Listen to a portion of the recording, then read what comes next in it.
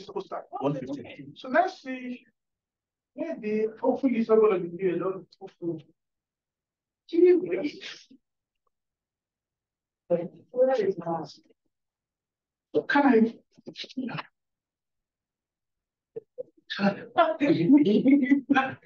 I'm trying to put-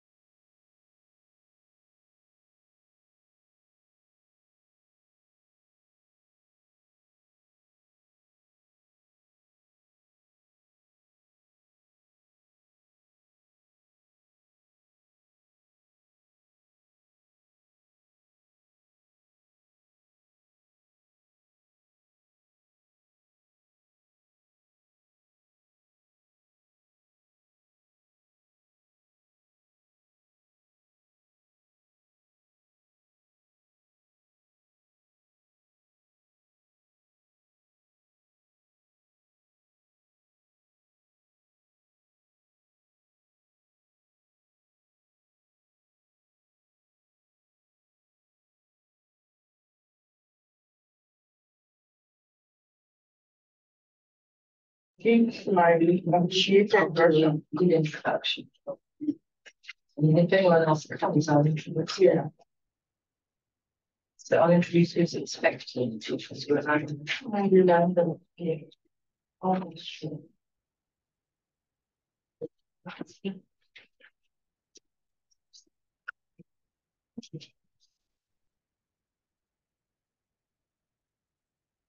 Voice is okay. Yeah, from cases. You. I know. But you like, look, you aren't you okay? Yeah. That is. Um, Yeah, I know. Yeah, we'll talk about it with us.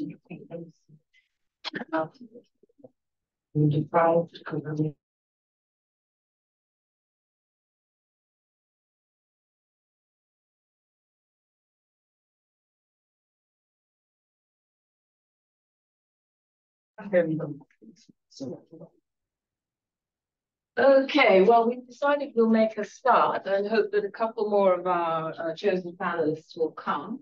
Uh, you've all seen the uh, flyer for this. Uh, so our subject is highly topical and uh, of great importance to, I'm sure, everyone in this room. The Niger coup in regional context, democratization, coup d'etat, and security in West Africa. And here's the organizer of this panel, who is here, Funke, Professor Funke Okome. Um, Pearl Robinson is listed on this panel. We understand she's preferring to contribute from the audience. Um, Emmanuel Balogun missed his flight, so he's not here today from Skidmore College, College. And we're expecting, because we haven't heard back to say otherwise, from Mohamedou Bashiru Tangara, University of Social Sciences and Management in Bamako. Yeah, I think he coming from Bamako. He would have. Yeah, so we're hoping he'll he will show up, and we're also hoping Yolanda Booker from Queen's University will show up. So in that spirit, we I think we all know if Pearl Robinson is in the room or comes. Uh, okay, we all know who she is because she's such a prominent Africanist. I'm not going to spend a lot of time doing a lengthy introduction uh, because we want to get to the meat of this session. I've just come from a formal session where I missed the lecture because there were so many formalities before. So I'm going to take the moment, to, however, to introduce Mojubaolu Okome, aka Funke, a professor with a PhD from Columbia University in 1996 in political science. Her areas of expertise are wide-ranging I know her best of all because of the role she plays in Gender, the African journal um, on uh, gender and African cultures and societies. But her areas of expertise include democratization and economic liberalization, human rights, nationalism and ethnicity, economic and political development, state-society relations, globalization and gender relations, with a focus on Africa and the world economy uh, power in African diasporic religious institutions. She's got numerous books and publications. I will mention Shaping Democracy in Nigeria, The Presence and Voices of Women, which is in gender audit. And she's also written a lot on the election issues of political participation and works very much with uh, the women's movement in Nigeria. I know her in that capacity as well. Um, and has done work for the um, on the election for the Women and Advocates Research and Documentation Center. So here we have an academic who is also very engaged on the ground with movements and organizations back home and in the diaspora. So we're hugely honored. She's also, we, we're on the same platform, Feminist Woman Manifesto. It's a, a, a listserv that keeps us on the pulse of what's going on with a very active women's movement in Nigeria. So Funke was here to actually um, serve as a discussant, but given the wisdom that she has, and the fact that she recently wrote something on Niger and Nigeria, that will be the topic. So she's kindly agreed to present that here today.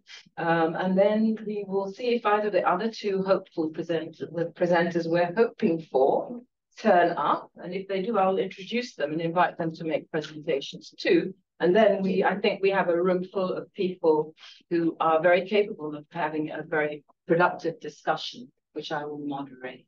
So without more ado, I'm going to hand over to Professor Okome to um, take it away, for the discussion of Niger-Nigerian foreign relations. Before we do that, would anyone just like a quick update on the situation in Niger? The last two things I would draw attention to here that um, from following the news are the change in the law uh, two things, well, through several things. One, chasing the French out, that's the big news, um, and forming an alliance with several other newly remilitarized states. The second thing they did was abrogate the law, which they had signed not too many years ago, um, criminalizing trafficking people across Niger. Niger is right on the route from West Africa to Europe. So they complied with the EU directive. So this military government has overthrown that directive and said they're not doing it anymore. Um, so those two big things, the removal of the French military um, and the sort of radicalism with which they're responding to the French alongside others is really what's making headline news and of concern to the whole. You will know, well, I'm going to let you talk about Nigeria's responses yeah. um, and then we'll take it from there. Thank you very much. Well, thank you so much for that wonderful introduction and generous too. So um, the context in which I wrote my paper is that immediately the coup happened, I have affiliation with the Nigerian National Institute for Policy and Strategic Studies. I did my sabbatical year there last year. So they convened a panel discussion and wanted us to talk about Nigeria, what Nigeria ought to do, because the institute um, is under the Nigerian presidency and they give advice to Nigerian government, much of which is not taken, you know. So we had, so I, so the title is the title of the uh, panel discussion. I just focused on Nigeria's response uh, in general. So you have to excuse me. I was prepared to be discussant. Unfortunately, our panelists had all kinds of challenges and couldn't make it. I'm sure there are people who are really deeply steeped in Nigerian politics here. So I'm hoping that after I give my spiel, that we will have a discussion and everybody is welcome to um, contribute. So, and then the context also is that there were people that gave the context, the deep context. Some of them were military generals, you know, who have experience with um, um, the Sahel. They had done peacekeeping, they, you know, so um, I'm afraid I cannot do justice in that respect. Uh, but I wanted to, you know, so what we were said asked to do is what should Nigeria do? And, you know, um, to give justification, that would be advisory. And because um, the people who have um, executive power sometimes are not really big on reading copious amounts of stuff, it had to be very, very brief and to the point. So anyway, um, I think we all know that in July 2023, there was a coup. Uh, but at the time, we heard that the president was detained, Bazoum was detained by the Presidential Guard. And um, they said they wanted to end um, the deteriorating security situation and bad governance. No, no, no, no. Um, please stay, stay on the first slide. And um, the um, the military junta was led by uh, the head of the Presidential Guard, Abdourahamane Tchiani, and he became the head of state. And many people were asking, are we in a coup corridor? You know, because there had been other coups in the Sahel region um, with when coups happen also, there are always concerns. We can go to the next slide. They're always concerned about, and stay there, about whether this is contagion, you know, whether it's going to spread. And Nigeria has had its own experience with coups. I mean, we had so many of them. And I remember mm. reading your Kaba and Kaki, you know, and a lot of the critiques, yes. Leela's, Kaki and the family. Kaki and the family. Nina and Bob. Oh, Nina and Bob, okay. Yours is uh, Kaki, Kaki and the family, okay. So there are experiences we've had and Nigeria is in its fourth republic because we have had so many schools ourselves. So um, Nigeria, Niger is not just our next door neighbor. We have in Nigeria deep historical linkages and complex interdependence with Niger. So what Nigeria, how Nigeria responded was very important. And unfortunately, um, and then there's fear of contagion, you know. Unfortunately, Nigeria was very bellicose. Like we are going to, they immediately cut off electricity. They, um, the, the, the they said the, well, uh, the ECOWAS and AU are against coups. And so they were going to apply sanctions. And I think some of those sanctions are still ongoing. Um, now, you know, the whole issue about borders, there's been all these I mean, everybody knows about Boko Haram and the insurgency in Nigeria. Um, with many Nigerians saying that, oh, it's people from over there, it's not Nigerians.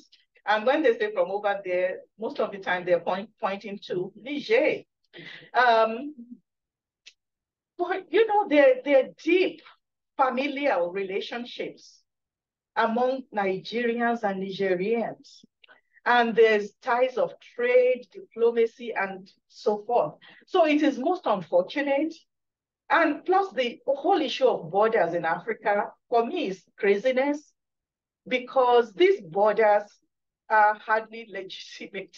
They weren't even made by us, you know. Okay. So there were some Nigerians that said, look, close the borders, don't let those people in. There's more Boko Haram and whatever. But actually, paradoxically, Niger was very fierce, fiercer than Nigeria in fighting Boko Haram. Okay? And we can go to the next uh, slide. So, you know, uh, people were saying it's a regional problem. We have a poor belt. And when I looked, there's been 486 attempted or successful military coups globally since 1950. Okay, I wanted to say that, that, you know, let's look at the global figure. Mm. But 214, most of them have been in Africa. And 106 of them, of the African ones, are successful. Okay, so 12 coup uh, attempts have been made since 2020 of these ones, so um, since 2020 in West Africa. It's successful. So are we having an institutionalization of coups my first slide said it's about democracy. I think when we're saying it's about democracy, what kind of democracy? Are you going to, you know, so one of my beefs with democracy as we're looking at it in Africa is that there's this thinking that you can, you can, um, you can sponsor democracy. There's a whole, whole industry of pro promoting democracy. And what democracy is taken to mean is that people have the right to vote. There's a lot of concern. Is the election free and fair? Even myself, um, concerned, you know, because a lot of these elections are like North Korean elections, you know. You just know who's going to win before the fact. Um, and there's a lot of intimidation in Nigeria, there's violence and so forth. So we should be concerned but really, um, to what extent are the governments that are being produced representative of the uh, will of the people? This is very questionable all over the continent. And Nigeria is no exception. So I don't even think that Nigeria has any moral authority to be telling Niger anything about anything, you know. And our president in Nigeria, you know, his own election is questionable. Plus, he has a lot of skeletons in his closet that I won't go into. So when it comes to that matter of who he should have just have said, okay, we are studying the situation. But I think he wanted to show that he is a man of action. And so he immediately made pronouncements, I think without sufficient consultation. And he did this also with the way he handled the currency. He did it this with the way uh, there was something else they did, you know. Subsidy. The fuel subsidy, he just mm. woke up one day and said the fuel subsidy was cancelled, threw everybody's life in confusion. I was in Nigeria, and so Nigeria has enough of its own problems caused by him. He should have been quiet. He should say we are consulting and you know we're sending diplomatic uh, uh, efforts and whatever. But he did say that if Niger does not mind itself, you know, we are going to invade on behalf of ECOWAS. I think that, you know, so I think there's a fear in Nigeria that hmm, this coup is creeping, you know, it was Mali, you know, there's other countries, and now it's right next door. So Nigeria does not want coup. I don't think anybody does want a coup. But this is the response that the Nigerian government uh, mobilized. The appropriate one is a question. So we can go on. So um, I'm also baffled about ECOWAS and by the way, AU, because, and I'm going to talk about this later. Yes, it is good for us to have a zero tolerance against coups. But if we're concerned about democracy, a lot of the um, of the moves that they make, it's very wishy-washy, very haphazard, and very, you know, just whatever. So I think ECOWAS also has to show that it is relevant and that it has some kind of control over its region and that when it talks, the countries should listen. Nigeria also, well, Nigeria prides itself uh, as being the giant of Africa. It's a giant without feet at the very least. You know, Nigeria wants to play a hegemonic role, and it has played a hegemonic role in the past in Africa.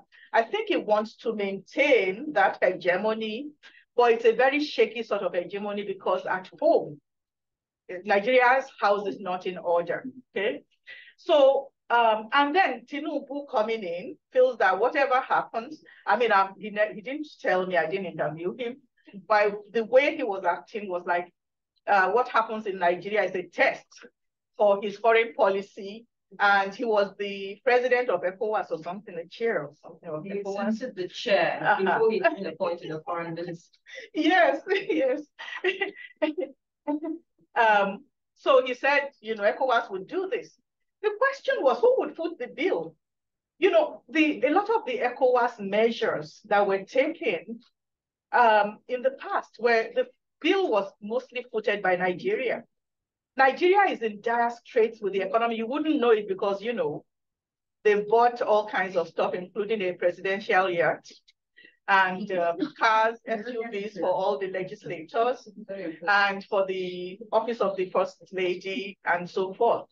Um, but Nigeria has a huge economic problem. So it doesn't need to get involved in foreign adventures of any sort. At least if it would get involved, it is supposed to consult within, you know, and then also consult the other African uh, states but no, you know, we wanted to be giant and we talked. And then, you know, this whole question of sanctions. I'm a political scientist, international relations. Actually, as much as people love sanctions, they're not effective. And there's a lot of research that goes to this point. A lot of the times, the people who suffer from sanctions are the people who least deserve to suffer.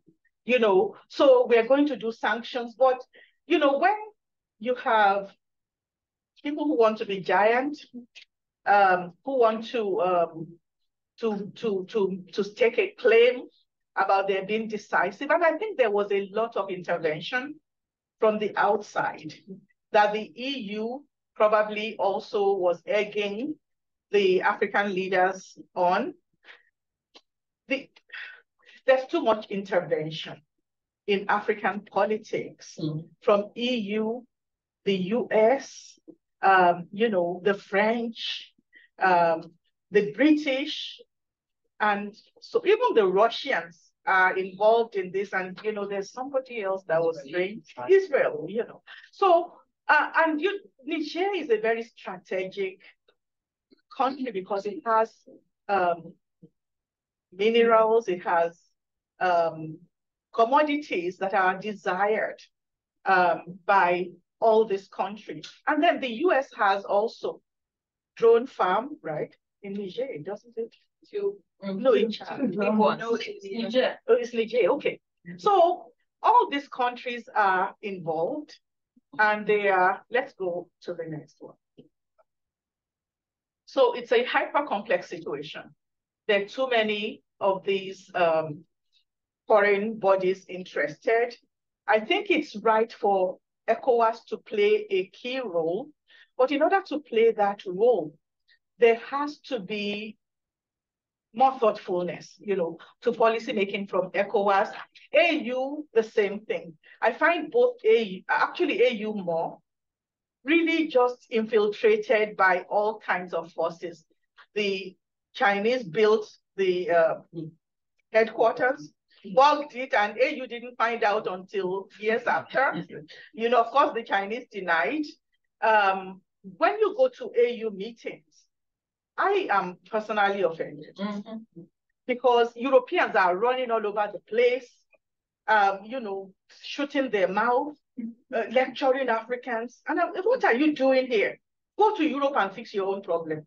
You know, but nobody in Africa tells them that. It's like, okay, they're giving us aid and whatever. What kind of aid are they likely to give? And France also has played a very damaging role in AU.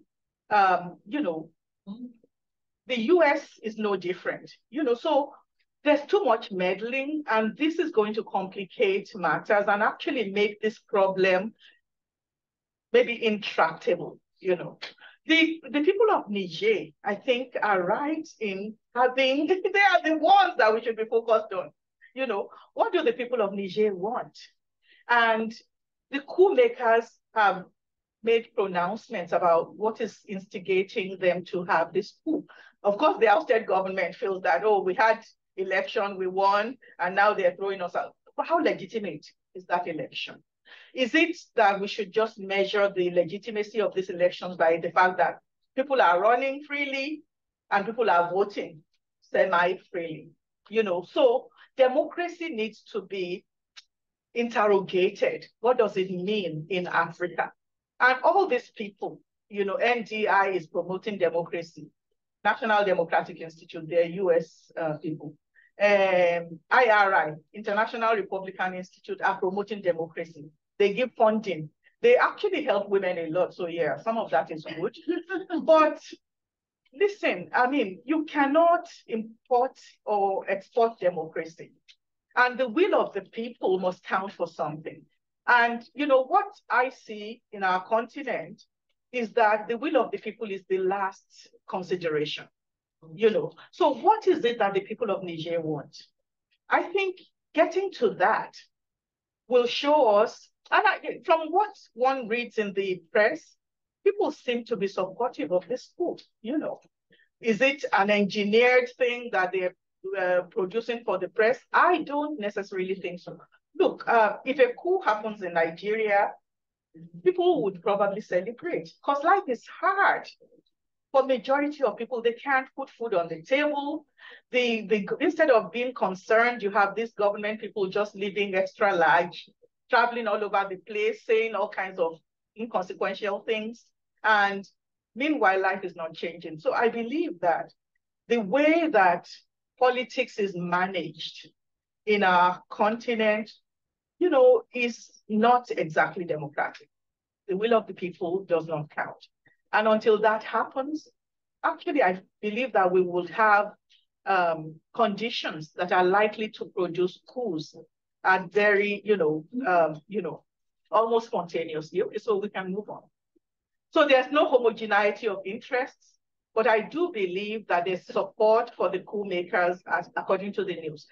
Um, okay, so in Africa and in the world at large, we have all these norms, but we selectively apply them, okay? Uh, the UN is guilty, AU is guilty, ECOWAS is guilty, and of course, Nigeria is guilty. Because the way we, we, we, we define things depends on the politics of it and what we're going to gain from it. And as long as that's the situation, you know, um, saying that uh, you have zero tolerance when you close your eyes um, when certain coups happen, or if it's not quite a coup, uh, and you know, there's illegitimate election, like in Nigeria, you know, you say, okay, it's free and fair. You know, uh, all these election monitors came and they made reports, and Americans have congratulated the guy anyway. So it's okay. You know, um, then when the hard line is drawn, it actually doesn't cut any ice because we are not applying the norms evenly. Let's go on. Okay, so I wanted, what I did in my talk then was to show how, how we can fully apply the regulatory frameworks. NIPSS is obsessed with regulatory frameworks, okay? uh, and also um, show that there's no consensus on how to deal with coups internationally. And I quoted a few sources. What the international system does is to politicize the whole thing. If America feels they have something to gain, it is not a coup. We're still looking at the situation and whatever. If they have nothing, you know, to gain or they want to um, incorporate the coup makers into their circle, they will tell you that it is okay. So, so um, what we see is national interest being privileged and geopolitical considerations prevailing in this determination of how do you deal with a coup? And the UN is the guiltiest of all from way back. So let's go on. Um, so the UN has no convention on coup d'etat, but the charter says that um, they can use force when there's a threat to peace and all other measures have failed. But only the Security Council can decide, and you know what happens there. If the, uh, the G5, the um, US and the winners of the Second World War, if they don't approve, if any of them says they are not going forward, the veto stands, you know, so it's very politicized. Let's go on. Um, so there's chapter seven of the UN Charter. And um, so I don't want to read this whole thing. Um, you know, the when coups happened, the international community protests sometimes. And, um, you know, many people are angling behind the scenes to maintain good relations if there are commodities that they're interested in or their strategic interest.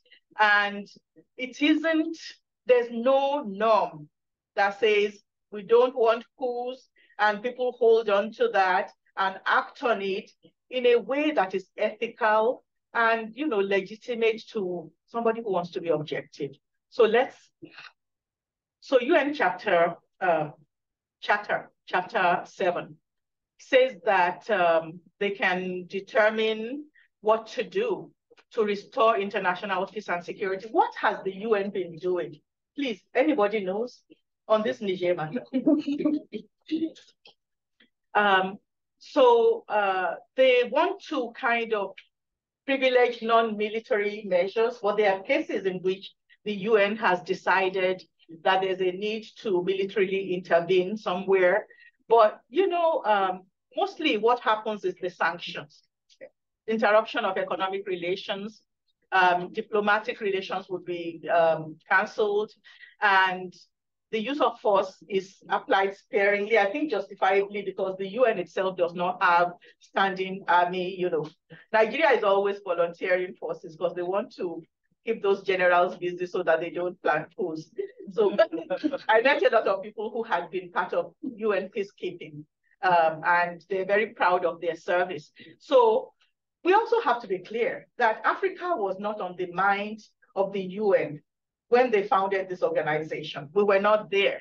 And our issues are not high priority in the UN if we don't know. Even if our sister from Nigeria is the uh, Deputy Secretary General, it means nothing. But structurally, we do not have power, okay?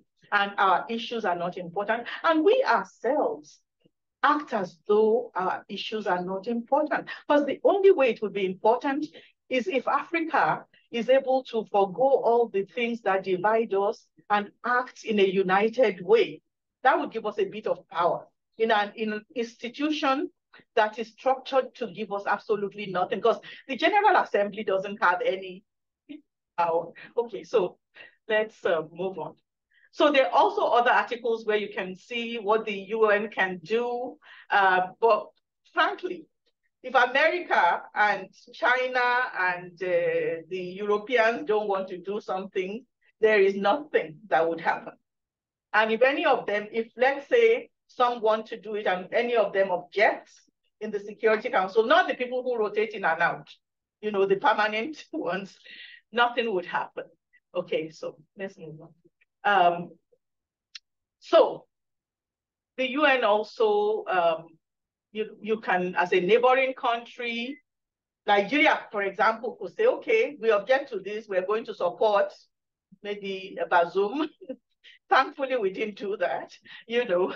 Um, so there are ways in which you can see that there are clear violations of some of the norms that the UN has, and the UN has done nothing except when the um, is it the the the Security Council members want something to be done. Let's move on. Okay, the African Union has declared its clear opposition to coups d'etat. I think it is justifiable because, you know, coups are destructive. Many of the coup makers, at least from Nigeria's experience, they have no clue on how to uh, govern. And they wreck the economy, wreck the political relations, their social relation, uh, you know, their management of social relations are also very poor. You know, so they have should be against it. But if we are against coups d'etat, we have to be consistent. And what my complaint is, is against the lack of consistency. Let's. So, yes, there's been so many coups. And this was the way of changing government because people wanted to sit tight. And I mean, you know, look at Cameroon, how long the president has been there. Look at uh, Uganda, you know, some of these people don't want to leave. And it seems as if the coups is the only way to get them to leave. So again, is it democracy when the same guy keeps winning, when they change the constitution to reflect their interests and they are able to make their will prevail against whatever it is that the people want. Um, okay, let's go. So OAU said we don't want coups. We want free and fair elections, noble ideals. Let's go. AU reiterates this and said, if you do this coup, we're going to suspend you. But they're not very good at doing that, especially when people force their way into power, but there's election. You know, so they they close their eyes, they say, okay, uh, they even make them the president of organizations. Um, so the AU is trying to build institutions that would make some of these ideas work.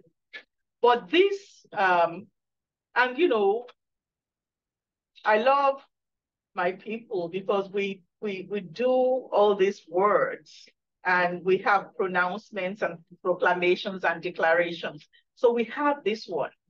And how do you apply the sanctions? What exactly does it constitute? Um, in what cases would they be applied? Again, just like the UN, AU plays politics with this. Let's go on.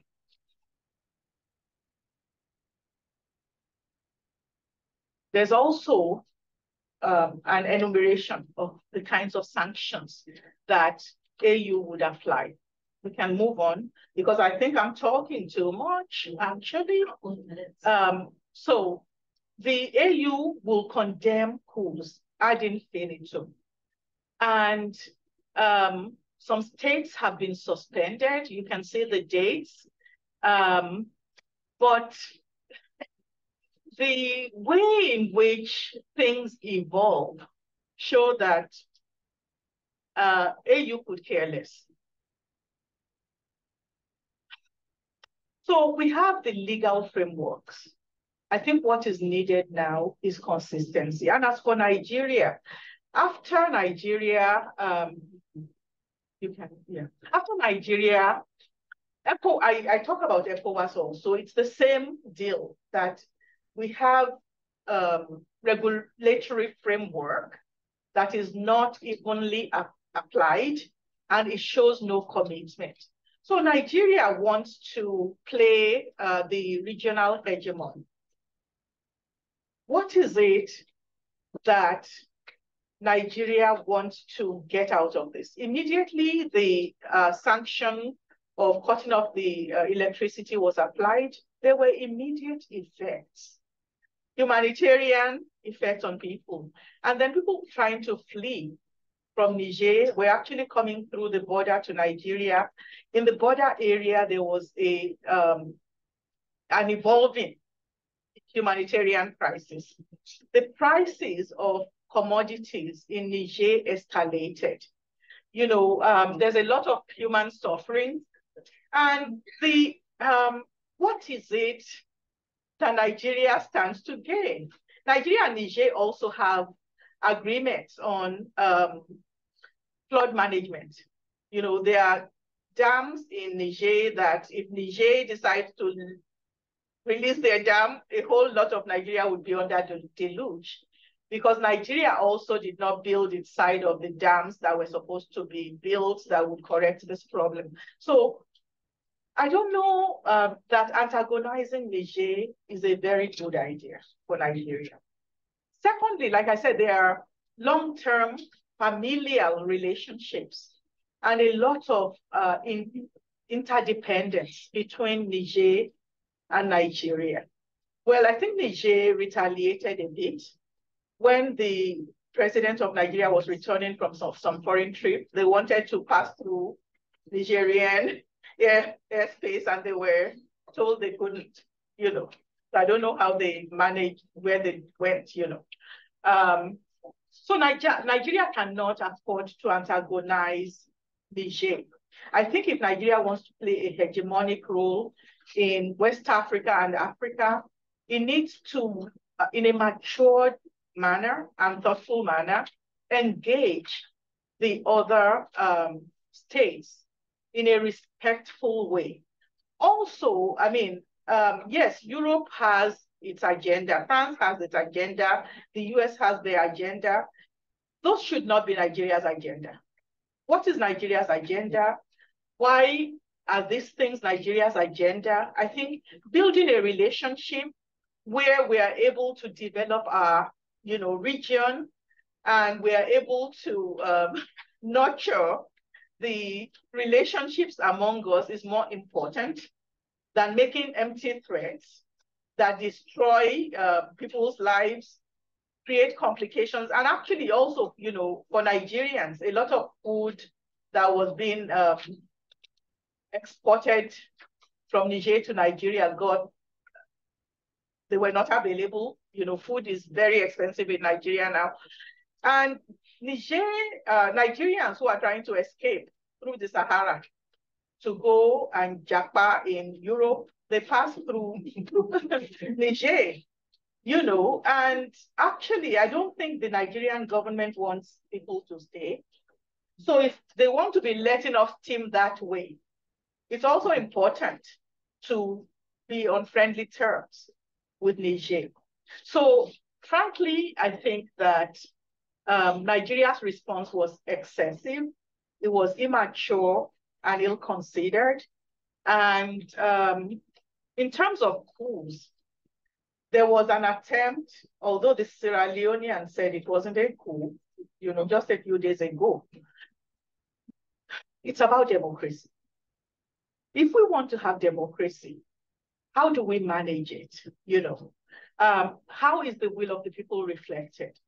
And in terms of um, these Sahelian nations that have had coups, a lot of the complaint is about France and its um, its negative role in um, exploiting the um, the countries and resistance to that. So, you know, some of these schools are being presented as anti-colonial. And I think one can say yes, in some instances they are. But how do we change governments without resorting to coups? It's up to Africans. And the leaders that we have right now are not really uh, acting consciously in terms of their attention to the regulatory framework that they said they brought up themselves in these institutions, uh, regional institutions. And then in terms of foreign policy making, there's a need to do much better. Um, and Nigeria wants to play big, big brother. It needs to really develop the capacity to make better decisions. Thank you.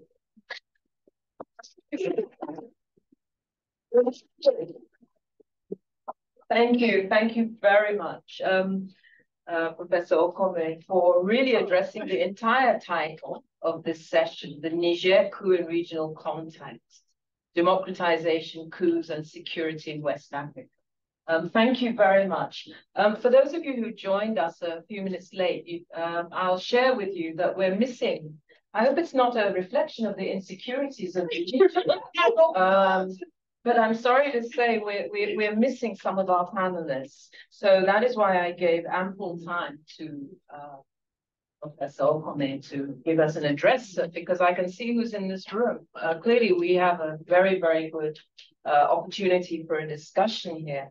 So I'll begin by thanking her for that and saying I'm very happy to see Pearl Robinson, who was on the list but has chosen to spoken from the floor, maybe because you had another appointment because you came in a little late. But I'm going to also in, involve you in this.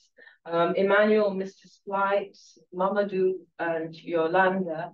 Mamadou is coming from Bamako. We don't know what happened to him, and we don't know what happened to Yolanda. So we're going to make do, and thank you for being so, for taking the opportunity, I should say, to um, adapt and, and, therefore share your incredible knowledge of the region and security issues in Nigeria for all the interests you have.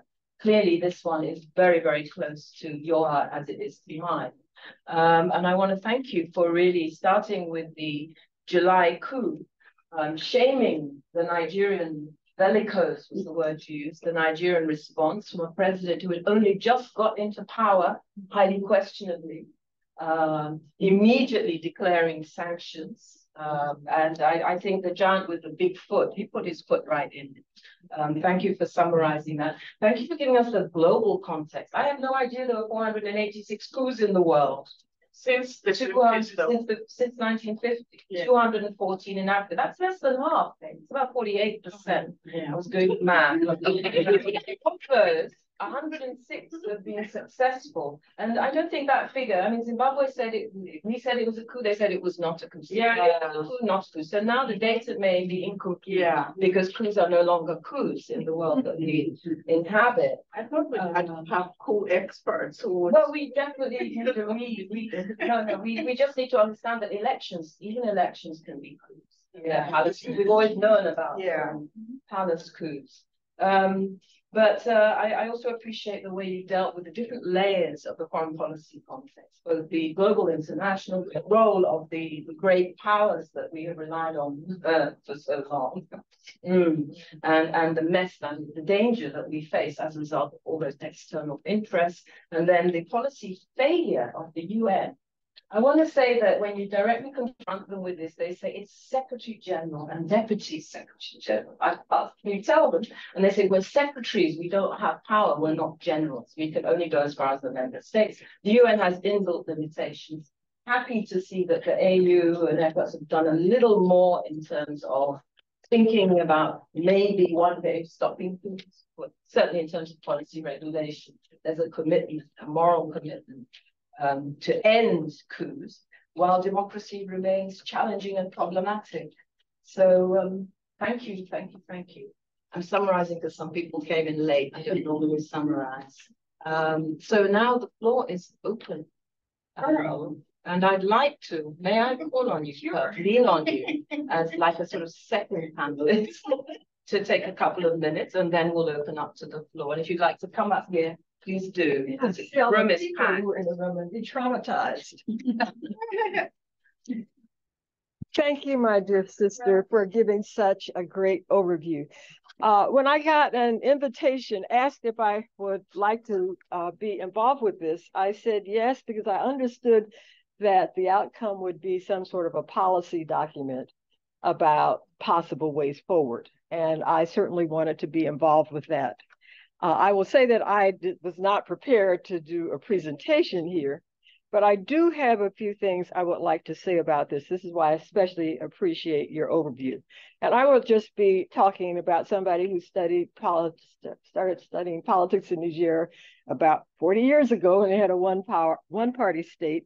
I've studied military regimes and transitions and attempts to uh, sort of fix the, uh, the, the security architecture, not only of the individual countries in the Sahel, but Africa as a, as a continent with a regional security architecture.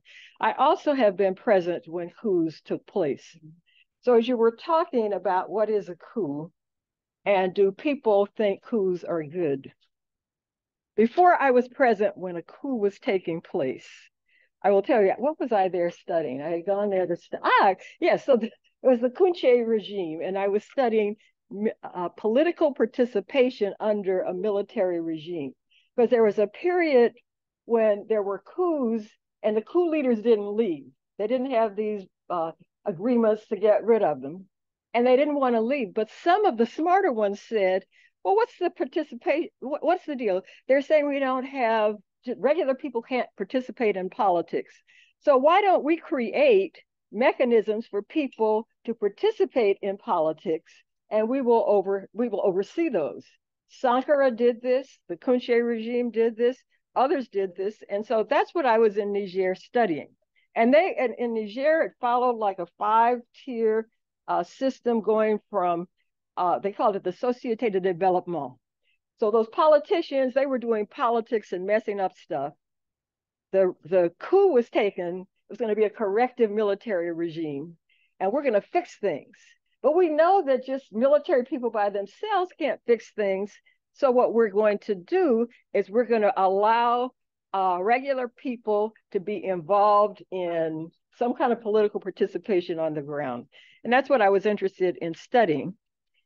And while that was happening, or no, this is a different, well, so I studied that. And that was interesting. I had come back when they were now going to have a trip after uh, the world change post Berlin fall democratization spreading over Africa. Uh, so what was happening there, I had actually gone there to study uh, the role of Muslim women in the new uh, participatory institutions or whatever it is they were trying to do. And but the military was still in power, but they were setting up to have a national conference, which I did not go to study. And I was having uh, I I listened to the radio every morning and I heard the music on the radio that announces a coup, military music. and I thought, I wonder if this is a coup and I was staying in a house that an American USAID representative lived and they let me spend uh, two months in the house. So I got up and the guard, the Tuareg guard who was in the yard, I said, is there a coup going on? I heard this music on the radio. And he said, no, no, no, go back inside. So I went inside. Then I heard shooting. And this house was not too far from the presidential palace. It was in the, the area they fixed up for the people who come to help live. And I said, I'll bet there's a coup. And then I went out again. I said, Well, they're shooting. Said, Get back in the house. I was waiting for the announcement of who had won. There was no announcement. And so Pearl thinks, you know, turning to the political scientist, participant observation. I get dressed. Oh and then there's a lot of shooting, and then it gets quiet. And I said, apparently, whatever's happening, there's a lull. I want to go outside and see. I got on my bicycle and I started riding into town to go to the Research Institute. Crazy. And I saw, of course, I'm crazy. I saw these these benches blocking the road and everything, and I didn't see anything. So I went into town And I went to the research institute and I said, What's happening? Is there a coup? And they said, Don't say anything. You shouldn't be out on the road. And in fact, you should get home. You should go home because Kountché is out of the country and it looks like some military people are there and they're trying to secure the palace and and they apparently gotten a radio station to put on military music. I said well i can't go home now because they're fighting there. So i went to a restaurant and i said i'll wait it out at the restaurant. To get to the restaurant should i stop? No, no i'm going to get to my, my new understanding of what it means to have a coup on the way to the restaurant i passed, rode past the market where they sell vegetables and everything. It was empty. Getting to the restaurant, I saw big trucks and they were full of people. They had emptied out the, the, the market and there were military things coming. So this restaurant was an outdoor restaurant, big walls and everything. And I said, Is a coup going on? And they said, Yes, you shouldn't be here. Uh, so I sat down uh, and in the kitchen, there was just like this little kitchen. People were listening to the radio, and there were some Frenchmen. They said, It's really getting bad here. We were just in Chad, and they had a coup there. And now we come to Niger, and they're having a coup. And then somebody came and was banging on the, the gates to be let in, and they were shooting. And he says, They're out here shooting. And then I thought, This is really bad. And so the people, the cooks in, in the restaurant, they were inside the kitchen, and we all got inside and we had to wait. Initially, we were under the tables, and then I thought, I don't care who wins as long as it's the strongest. That's when I understood the Leviathan. I said, right now, because the Kountché was flying back, according to the, the, the radio, and then these people were ready to confront him, and we were going to determine who the next leaders would be. And I'm out there with gunshot going on. And I said, yes, I don't care who wins. Somebody needs to be able to come in and restore stability. I need to be able to get back to my house and then figure out how I'm going to get through the next days. And eventually, when Kountché came back, his side won, uh, and he went back to the palace, and we had they changed the music, and we were told that there was an abortive coup. So when I kind of hear the thing, when there is a coup, what is it that people want? Immediately, you want stable governance. And then you want, you know, if you care about politics, one of the things you will do is to try to figure out how can I live my life without worrying about this political thing. I guess that's what I was doing when I got on my bicycle and started riding down to find out what was going on. Um, and there's a sense of security versus insecurity where the people who can at least control the people who have the guns are the ones that you want on your side. Now, as time goes by, you realize that these people don't, well, they do know what they're doing. But what they're not doing is making life better for people as a whole. And that's the point at which you start trying to figure out how can I live my life? And one of the options that people put on the table was a return to electoral regimes that have some kind of periodic uh, dependability and expectations that even if you can't really determine who's going to run the government or sanction people who are doing bad things, you can get on with the daily terms of life. And then I guess decide for people who may have the options to leave to do that and then they're the ones who actually care and want to live where this want to live in this place. And they're trying to figure out can we create safe spaces? Can we uh, create or maintain some spaces of empowerment? And then you have the people who come to help. These are the NDIs. These are the, the people who are the, uh, the who, who, who, specialize in democracy building uh, help you put things together so that you can have an election. Then we got to the point where it, it seemed that you need to have, in Africa, you need to have outsiders to come and validate elections. Now, some people say it's as though you think Africans can't do it themselves. In my view, having sort of lived through the period when you had elections were either just suspended or called off, regimes just renewed themselves without elections, um, or um, they annulled elections. I, in the initial period, I saw election monitors that all these people internationally come to observe an election. It's harder for a regime to say we're canceling it. And so, and I have been uh, an election monitor twice. I did the transition in Nigeria from military to civilian. And that was my first eye opening about what that meant.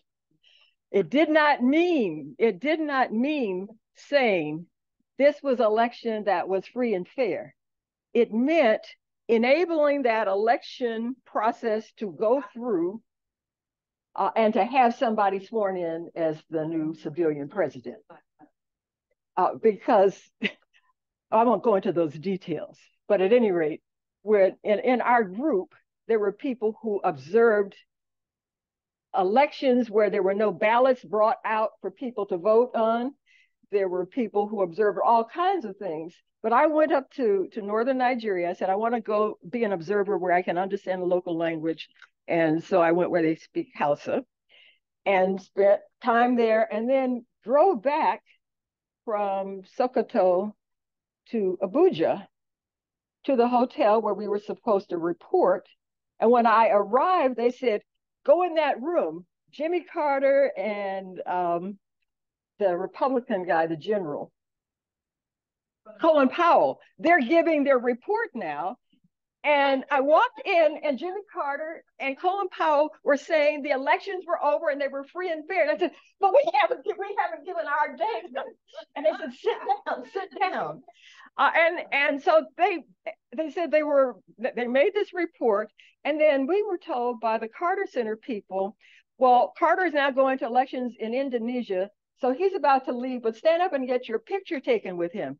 One one of the people in our party had been attacked by robbers. They stole their all their jewelry, their passports, their money. The man with his wedding ring, they wanted his ring. He couldn't get it off. They're about to chop his fingers off. And people had stories they wanted to tell. And so our group said, we are going to go to the press and tell our story. So they kind of calmed us down and they said, all right, well, Jimmy Carter has to leave, but what we're going to do is we're going to order food, and your group, you can stay here, and each group can say what you uh, saw, and then we'll figure out where we're going to go. And then one of the, there was a Moroccan prince who was there, and he said to us when we were eating, he said, "So what is it you think you're going to do?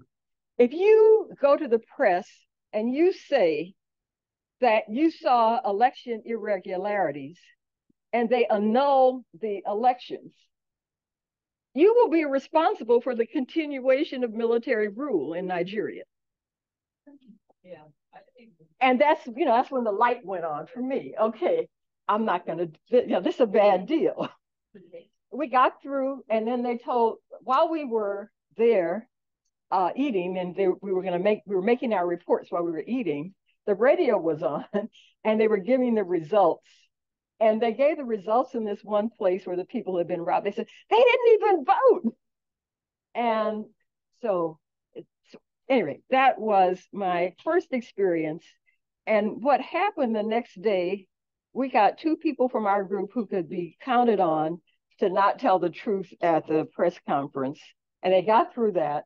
But it was the local election monitors who did their truth telling and even when I was going back to the US on the plane on uh, British Airways, there was a story about things that we saw. And then after the inauguration, uh, they, in fact, the Carter Center changed its report from saying, well, there were some ir irregularities, but not enough to uh, change the outcome, to there were many irregularities, so much so that we cannot say for sure that they didn't impact the outcome. Um, so we have a whole series of uh, procedures now for having elections, making sure they happen, and they get validated in this international system that has been created. Uh, and that's a lesson, that's a life, life learned, life long lesson with me when I see elections. The only other time I did election monitoring It was when I was in Niger and they were having local level elections the very first time. And I was working on this Mama Chota movie and I wanted to get some pictures of women uh, voting. So I actually went to the UNDP and I became a UNDP election monitor. And I thought, well, this is low stakes. It's just, you know, local level stuff. And I met the person who was there for the president's party. It was just at the local level. This is now a civilian regime. And he said, I'm here to make sure that the president's party wins these uh, local elections. And I said, Well, what does that mean? He said, I'm here to make sure that the president's party wins the local elections. They happened to put me in the house of the man who was the head of the largest opposition party. So I was, we had breakfast together, and he explained to me how they were going to win the elections. They had their people out at night and they were passing out the thousand franc CFAs, but they tore each one in half and then to show that you had done what you were supposed to do, you got the other half. And so he explained that. Um, but so I went out, I observed all this, and there were like uh, five or six different parties at least. And I had gone through the, the, the training for people who were the local election monitors. And they just were saying one of the simple things with these ballot boxes, how you were supposed to uh, close them. So I'm sitting there really, really with my camera trying to get footage. I'll, I will end it. Okay, so let me just say one last thing. Okay, and I saw I saw that the ballot boxes were open. I noticed that people were online and there was all this fidgeting, and what and so I was trying to figure out what was going on, and the ballot boxes aren't locked, and so I I violated the rules. I got up and I attached and closed the ballot box. And I sat back down, and people came over and they said, Thank you. And I thought, well, this is really terrible. They all saw this was going on and nobody dared. And I thought they were going to take me away because I had violated, but they didn't. That night, when everything was when everything was supposed to be over at about midnight, a man came from the um, prefecture and he said, we're going to have a meeting at two o'clock in the morning and we're going to recount the ballots. And I was tired. I was going to go to sleep. And I said, Well, wait a minute. You need to go. And he had all these ballots on a table. And he said that we're going to recount the ballots and those things that all that process had gone through, we're going to correct it. So that's what the president's guy had told me he was going to do. And I was, I thought, okay, now I'm complicit to election uh, malfunction. But then I saw people in the room, Nigerians, they got up with their cell phones. And then the man who was sitting in the front with the ballots, the phone rang and he said, we have to stop the, pro- the process. What they had is they had people in the Capitol and people there. They had their own people and they reported it and they stopped election fraud. And at that point, I said, I will never, ever be an election monitor again, but what I do know that it is possible for people to monitor their own elections. And that's what this election thing should be about. Uh, so I will stop. I understand why some people applaud a coup when it happens. I know that there's election fraud, and I actually know that if people have the will and the means and the way, they can change it. So internationally, the people who do this work, scholars, the challenge is to find out ways to enable people and help people to do what they know how to do and they will do when they have a chance.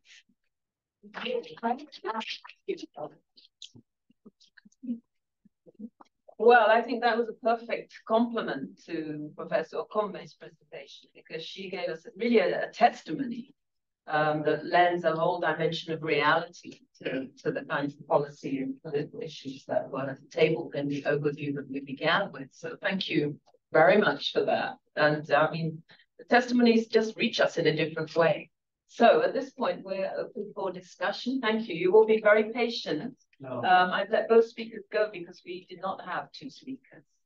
Yeah, thank you. So Please much. introduce yourself as you speak and try and Okay, my name is uh, fairly brief. Okay. I'm from Wesleyan University. Um, thank you for, although I wasn't um, around during the better part of your talk, but the last thing I say was military coup and uh, democracy. But I just want uh, us to see, is there a way we can actually uh, problematize democracy in Africa? And should we replace democracy with uh, something else? And must we um, stick to that idea of Western democracy in Africa? And is Western democracy the best form of government for Africa? That's just uh, one question there that I want to ask. And then you, made mention about um, democratic elections, a democratic process. Uh, we understand how this democracy evolved from after uh, the 1960s, after the independence uh, movement. But again, um, the military, we know, we say the military is truncating democracy. But the question is, do we really have a democracy at all in the first place? That's the question we need to ask. And uh, have we ever had democracy Africa? So I just want us to think about this and see how we can problematize that word, democracy. Thank you. Thank you very much for that question. What we'll do is take a couple, uh, but those are quite profound questions. Thank you. Um, that's Ade. Okay, thank you very much. Really a great presentation uh, from my sister there. I think the situation with Nigeria is even more serious because the country that did really noble peacekeeping in the 1990s and stabilized both Liberia and Sierra Leone today is facing a $100 billion debt.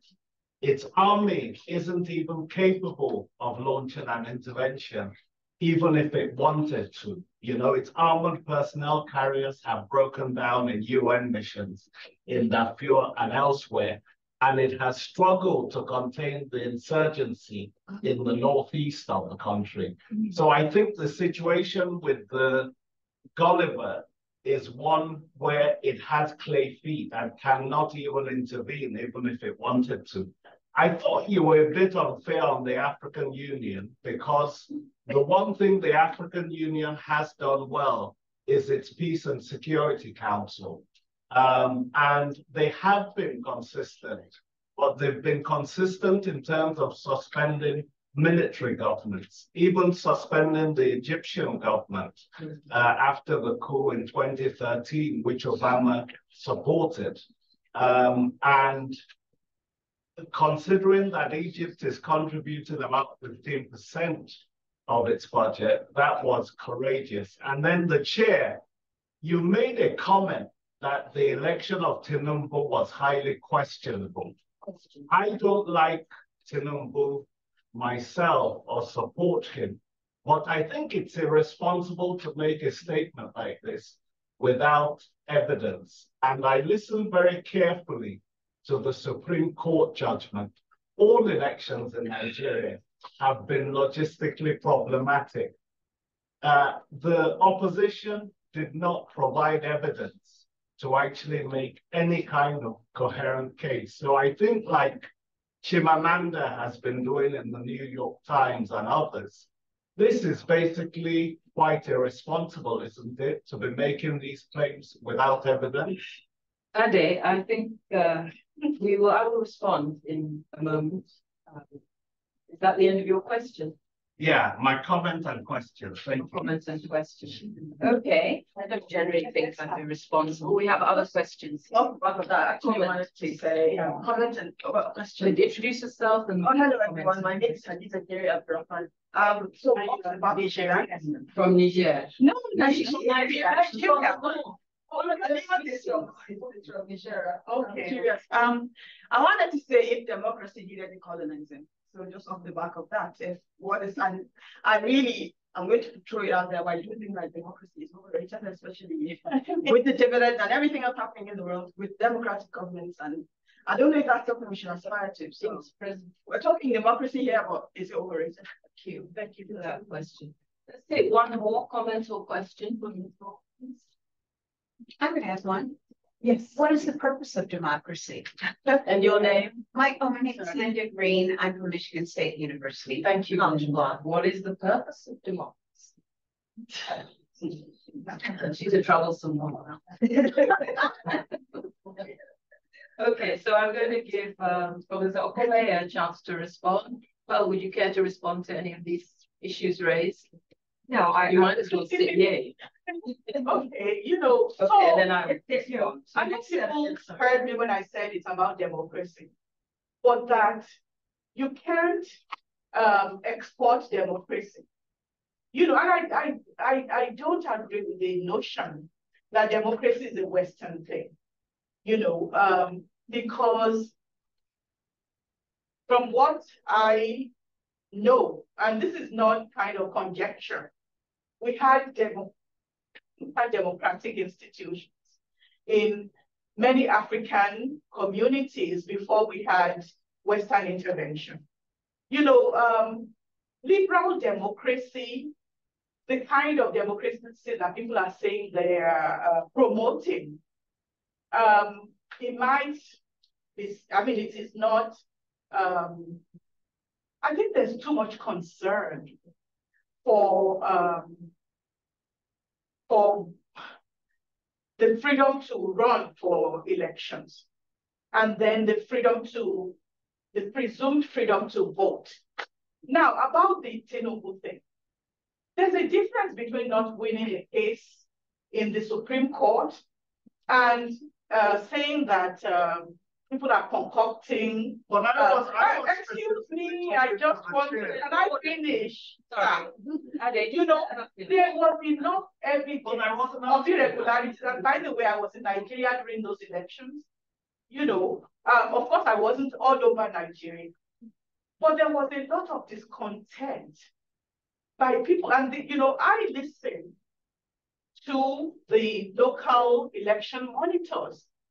There was a lot of irregularity. A lot of the people, uh, staff from NIPSS, from the National Institute for Policy and Strategic Studies, went and did election monitoring. When they came back, said, how did it happen? They said, hey, Wahala day, you know, because there was too much rigging, Violence. and there was a lot of violence, and there was intimidation. And so, you know, yes, I think in, in, in terms of let's have stability, the Supreme Court can do whatever it wants. The people who win, who are writing the history, will say that it is legitimate. It wasn't legitimate. Well, CPD also And published the report. We- can you not interject and let me finish that? Sorry, Nigerians, brother and sister. We'll do it in a friendly manner, please. Um, Okay, so the order has been established. thank you. So, uh, so, you know, I think that there were serious irregularities. And still, I am, I have not been contented with any Nigerian election since we had the Fourth Republic. It is, I think we're making baby steps. And maybe we'll get there. But pushing your way through, I mean, the, the whole way in which the president said, it is my turn. And he said that he had been helping people. He was the one that helped this one and that one, and now it is his turn. And he was intent on being the president regardless. It's very offensive to the idea that we're having this election. You are not supposed to know the results before the elections are held. And there were documentations of serious irregularities. However, the Supreme Court has ruled uh, people want to move on with their life. I agree with you, Pearl, that at some point people just want to have peace. And actually, that those elections, there was very little participation. Because from the get-go, many people didn't have the confidence that it was going to be done well. Okay. Um, so yes, Nigeria's military is very weak. Um, a lot of the of the um, what is it called uh, material they have is substandard. There's been a lot of fraud in that. Um, it's a shame that things have just, just you know, deteriorated to this point. Uh, so actually, Nigeria needs to fix a lot of these things. And it is not for lack of Nigerians who have knowledge about these things, say, you know, giving advice and giving roadmaps to how it, it can be done. Is there political will to do this? I don't think so. Um, the AU um, has done well. Well, you know, so I won't go into it.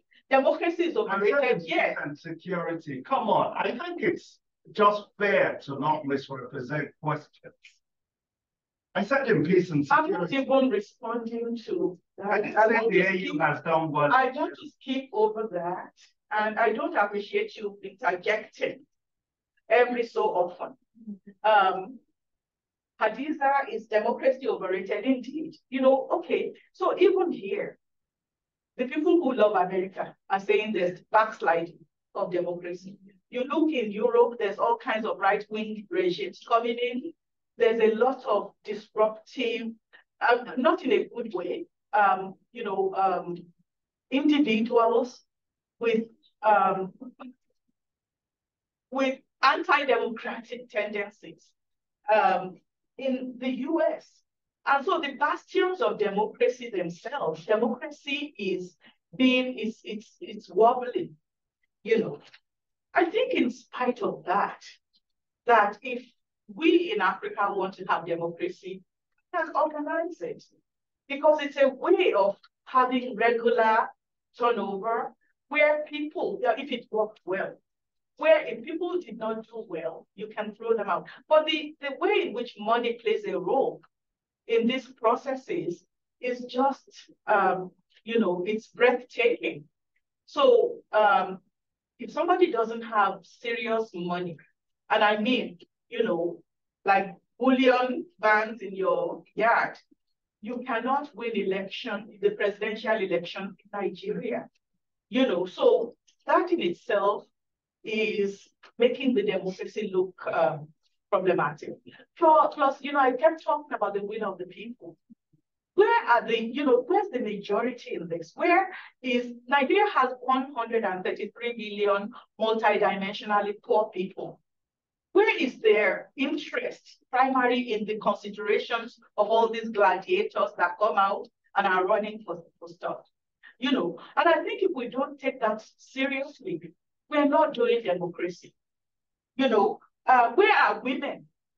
Nigeria has managed to muzzle and push women out of the political process. We have like 3% women in our national legislature. It is illegitimate and it is immoral and it is unethical and undemocratic for that to be the situation. You can't find poor people in Nigerian politics. You know, so how is it democratic? Disabled people totally sidelined. The youth are sidelined. So, you know, it is not democracy when you shut out the majority and then all these rich people are just using the political um, arena as their plaything. Um, what's the purpose of democracy? Good question. No answer said that. Okay. we'll keep that one in play. Uh, Pearl, raise your hand to Yeah, some just- response, I just and then we'll take another round. I just wanted to say that what I look at or look for is what are the political accountability mechanisms? And you could say, are elections that doing that? If not, where else do you look for that? And so I would sort of hope that as we're saying, and we identify the flaws of the of elections, that we also ask and try to find answers to what are the political accountability mechanisms that can work given the context.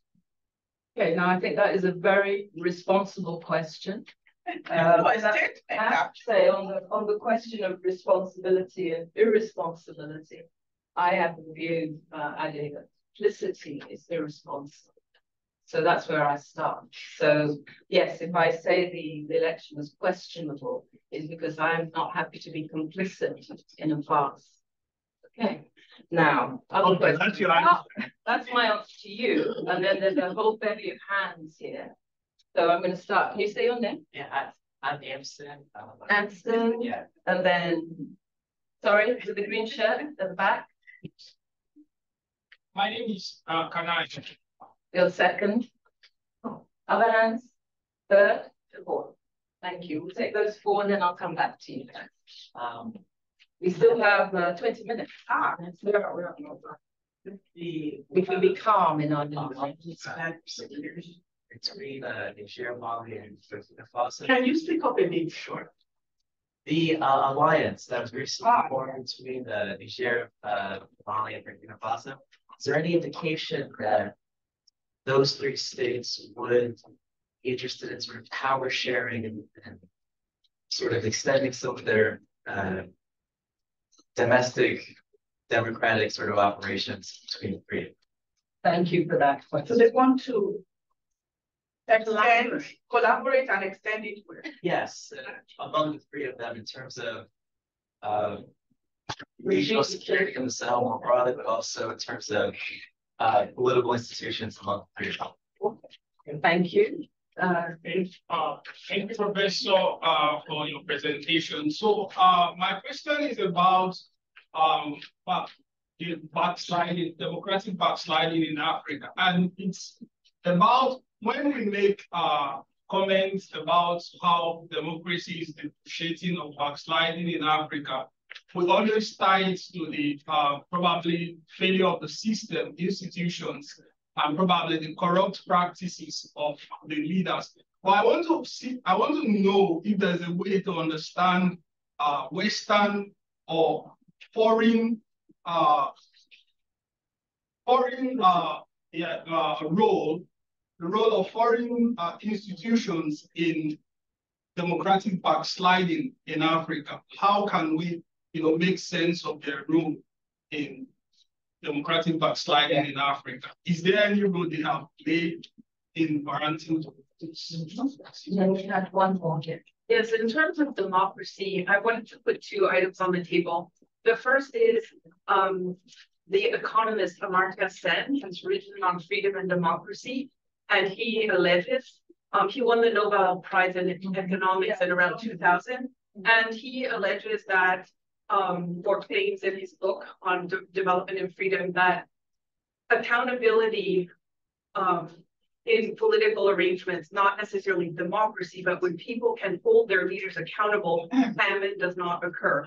And he claims that famine has not occurred in, in um, political situations where there is accountability. So with if he's from Bangladesh, so it's not a Western frame. Mm-hmm. And this question of accountability, avoiding famine, and shared prosperity is something that he writes about. So I just wanted to put that on the table as one item.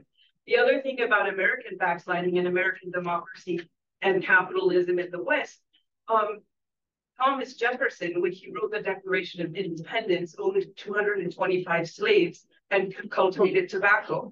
And in the notes on Virginia, he describes the institution of slavery while he's writing the Declaration of Independence as holding a fox by the ear. And he didn't want to let it go. And as a result of not resolving that problem, American democracy today is in trouble. And we can see how race is threaded through all of the problems that we're facing from, you know, the birther movement that um, got from, you know, into politics. That's how that was his launch. And it was show me your birth certificate, black man. So, so these are issues that we contend with, right? I mean, I think Western democracy is very problematic and that there are other references such as from Bangladesh and accountability and so on to consider um, when we think about the value of democracy. Thank you, thank you. So tall menu, but and lots more coming. So, yeah, so democracy is not a like uh, a destiny. It's it's not a fixed thing. And yes, now that um, you mention it, it's not just now that the backsliding began. The whole foundation in the US and the fact that um, an undemocratic situation was presented as democratic is questionable. Well, you know, um, I think that's the thing about hegemony and the hubris that comes from it. Mm. The hegemonic um, forces or uh, institute or um, hegemonic actors um, tend to write history uh, in their own interest. And then they have the power to carry it into the world and impose it, you know.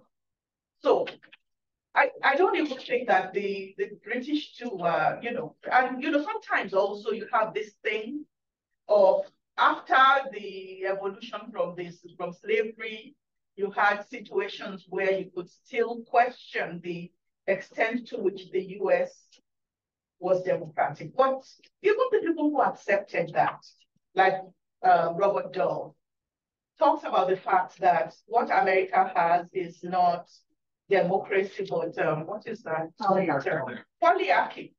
You know, so we can still we can criticize, we can criticize uh, Western democracy and its limits. And we can also criticize some people who accept that, oh, America is democratic, but they say, okay, it's democratic at home, but abroad, it is highly autocratic and dictatorial and whatever. So, um, so I think we're, if we want to buy into this idea that we have an international community, it can't just be the powerful actors that are talking about what we need to do. And what I said, I think that I didn't explain, is that we Africans had democracy before the white people came. That if we want, at least, you know, it wasn't perfect, but we had notions of democracy. We can create this. But you have to let people, you know, um, you talked about um, uh, accountability, right? It's not just accountability, it's what does participation mean? Mm-hmm. It's just you go and vote for. You don't even know what the hell these people are about. Tinubu refused to have a debate with anybody. He said he didn't want them to steal his ideas. and most of the time he's incoherent. You know, so I think that, you know, um, whatever it is that the Americans are doing and the British are doing and the Europeans are doing, what kind of value do we have in Africa on our own lives and what we want out of life and what, where do we want to go? What do we want to leave for the future generations? There are people who are concerned about this, but their voices are not being given any kind of, they, you know, they know because the fact that whatever they do, it's not going to change anything. I have so many people say, I'm not even going to vote. You know, young people, oh, and then the ones who went, some of them were met with violence. You know, and I want to say that in elections in Nigeria, women are actually raped sometimes. Some of them are election workers. So to come and start saying that the, the Supreme Court said something, they will say that because they are working. Okay. Um, so I think, yeah, we, we need to look inwards and build our own models. But if that is going to happen, people have to be allowed to truly participate. And there's no space for that. And money is too strong in this. Yes, there are external actors. And some of them sponsor coups too. There was a time, um, what's her name, Thatcher's son sponsored a coup in one of the African countries, you know. So, and, um, you know, sometimes the, too much help is a bad thing. Um, uh, so I, I admire people who want to promote democracy, but um, it's a job. And as long as we don't have good democracy, these people are going to have a job, you know. So that's my cynical take. But we need to work on these things ourselves. And it's not easy. It wasn't easy. It's not been easy anywhere. It can't be easy in Africa. But the way in which, uh, uh, you know, the way in which these um, election monitors come in and then, oh, the EU has said something and the Americans have said something, and what the local people are saying, who are also observing, is shoved under the carpet and not really attended to, it is offensive. Uh, we are not, you know, so we are operating the world as if they're still, we are still colonies. Yeah. Thank you. Okay. So we have, we have time, we have ten minutes, so we have time for another round, so. Well, after- We're gonna have to be short questions, and thank you for your energy, you having to do it. This is exercise. You got manage and on, you got manage and on. Um, Sister Yeftuna. Catherine Larry. Catherine, I missed from the last round, and then we will take sister at the back there. My brothers, you two have been waiting since the last round. I'm here. And you could laugh. So you've actually already touched on what I was going to ask and comment on, which is the dem- democracy as we think of it today or as we practice it today, it is obviously very flawed and it was flawed from centuries ago. It is very, it's inextricably linked with money and capitalism. And so can we as scholars, as activists, we imagine how we want to um, move on in terms of developing new political structures. Um, and if so, what would that look like? Um, I'm imagining we don't, perhaps we don't even need a president. Exactly, they're too expensive. So, um, do you have any ideas or a suggestion? Why not? Thank you. Uh, Okay, thank you. Next, yes. Thank you so much. so much for your presentation. So I have actually question to ask. So to start with, also like the argument or the debate between the strong man and strong institutions. It starts, so many people, so many people, people so much for people, and I think that's also the gainers issue. So we are like, I want one to you actually have like one man or like the strong institutions that will need to resolve Nigerians' challenges. And my second question, simple like that, is like, I mean, you talk, you've spoken about and eloquently about military coups in Africa. And like, what about democratic coups? At times, there are some leaders that conducting democratic coups in Africa. I mean, there's been so much time in power, like 20 years, 30 years of power. So far, like, among they are like, that's the tune of Western, I mean, they're just concerned about how long they spend in power. So I mean, what's like comment about that? I mean, I get democratic coups in Africa. Because like most people talk about democratic coups. At times you see some people like spending three times, I mean, three time limit, for instance, in Madagascar. You don't know that is like contesting in Madagascar, like going to sport claim. And like see so many other people like that. I mean, thinking is institution in Africa. So that and then and then I'm I'm also not democratic in Africa, and that's one we solve this democratic. When we focus on military coups in Africa, and not democratic coups in Africa. That's still my two questions. Thank you. Okay, thank you. Then the fellow behind you, it's also been waiting a long time. Yes, uh, thank you so much for such comprehensive presentation and great discussion that's going on. My question is uh, mainly in terms of, you know, responses after coup, right? Because practically, you know, whether that's at the international level or regional level within Africa, the response is always like, you know, Tinubu, for example, you know, condemning the coup and calling for return of, uh, the, you know, the restatement of the leader or return, return to democracy and whatnot without really understanding the contextual factors that contribute to it. So um, I want to just hear your take in terms of how do we or how do African leaders respond to such coups uh, and by first understanding the, the contextual dynamics and not have such a, a foreign policy decision that are also probably detrimental as um, we see with uh, changes responsive to the coup. Thank you. And then we have the lady at the back and then. May I ask if that my intervention will be recorded? Is this being recorded? Recorded, yes. Pause the recording, please. Turn off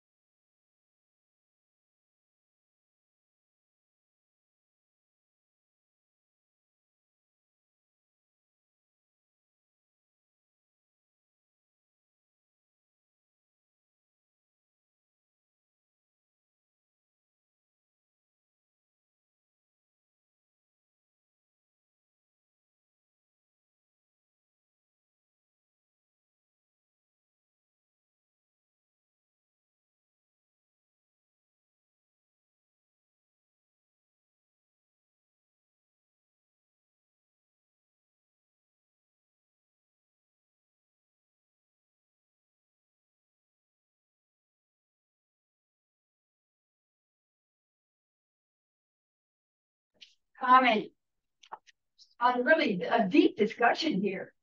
Uh, and I, I'm with Pathfinder uh, Press, and I wanted to recommend two books.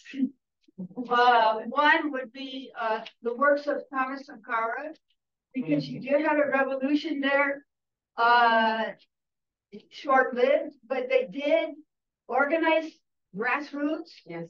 They did represent the will of the people. There's a book there by him on women, very important. And the second one I would recommend is one of Women in Cuba, Revolution is the Revolution. Uh, very much on the topic. Thank you very much for those recommendations. All I I, I confirm the value of the books and uh, especially Sankara's. Thank you. So it's time to end. We're just going to hand back to Pearl. Did you have a final word for this discussion? It has been a remarkable discussion. So many different layers and players to it. And I particularly welcome our sister from Niger. We did have three panelists who went missing, but I think they were from Bamako, Mali, and Chad. And those we tried to get from Niger declined. So you're scarce. We will really value your panel tomorrow. Thank you very much. And to you too, Erin. You know, um, I I came to be a discussant. so um, I stepped in to give my paper that I gave in another context, and I explained the context that it was prepared for Nigeria to advise our president because we thought he was being rash. Um, Quite right. And, you know, uh, so all your points are very well taken. Uh, and if you notice, when I put all the actors, I said, what do the people of Niger want? You know, there's democracy question. A perspective from them that actually even Biden is not uh, taken seriously because Biden is only concerned about those drones and what will happen to them. Um, so yes, um, we need to hear the perspective of Nigerians. Um, how do, you know, African leaders, how do they respond to coups? Um, oh, oh, okay. So there are coups that are not done by uh, military people. The problem with the AU and with ECOWAS is that those coups, they don't take seriously, you know. And it is hypocritical, it's uh, problematic, but they are all politicians. And if we take a leaf from the UN and how it's handling things, you know, uh, a lot of considerations that are neither rational in the truth, you know, like to a layperson, but rational in terms of political calculus. You know, take get if they, if they start uh, paying attention to that, who will be left? There'll be two people attending a, you know, so I think they can't afford to push that envelope because there's a real problem. Um, there's also, um, yeah, democracy is flawed and inextricably linked. I agree with uh, capitalism. Can we reimagine how to come up with new models? Yes. Yes, and I want you to lead the charge I will follow. but it is, this is one of my constant preoccupations. Because for me, you know, all this theorizing about democracy, even accountability, what does it mean on the ground? And if it being taken seriously? You'll find it isn't. Because if we do take accountability seriously, even in the US, many of these people in office, they wouldn't be there. There are people who do all kinds of deals, and there's pay to play in the US, you know. There's all kinds of, you know, um, so I think at some point, I think people are just, um, they want stability. And if, if, if we're going for stability, um, the messiness of what democracy should really be that would produce the will of the people. We won't get there. Uh, but we'll everybody will be able to live some kind of normal life. Um.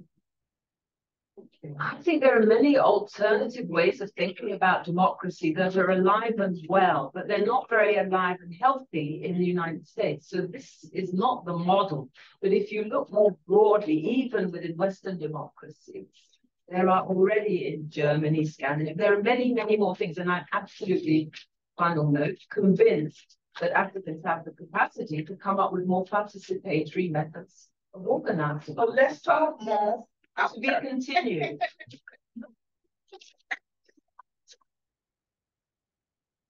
Thank you very much for one discussion.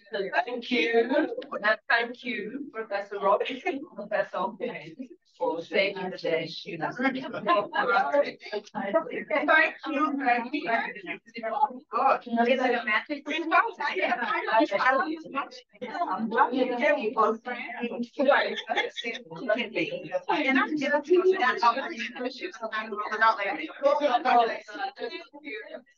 Yeah.